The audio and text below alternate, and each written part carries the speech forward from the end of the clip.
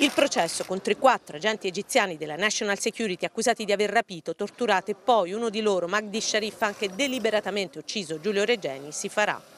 Lo ha deciso il giudice dell'udienza preliminare Balestrieri al termine di una lunga Camera di Consiglio. Il prossimo 14 ottobre, dunque, l'Italia chiamerà sul banco degli imputati i rappresentanti di quel sistema di potere che al Cairo nel 2016 strinse la trappola mortale attorno al ricercatore universitario venduto come spia, anche se loro su quel banco fisicamente non saliranno mai visto il rifiuto egiziano all'elezione di domicilio.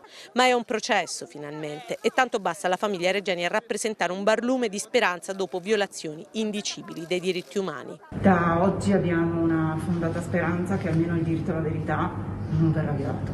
Ci abbiamo messo 64 mesi, ma è un eh, buon traguardo, un buon punto di partenza.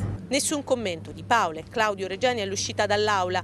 Troppa la tensione e la stanchezza sui loro volti. Le difese d'ufficio degli indagati hanno provato a sostenere che fosse impossibile chiamarli a giudizio in Italia. Il GUP ha risposto che vista la straordinaria copertura mediatica del dramma di Giulio, anche al Cairo sanno che qui si sta celebrando un processo. Gli 007 si sono volontariamente sottratti alla giustizia, assieme a tutti coloro rimasti senza nome né volto nel fascicolo aperto ancora contro ignoti.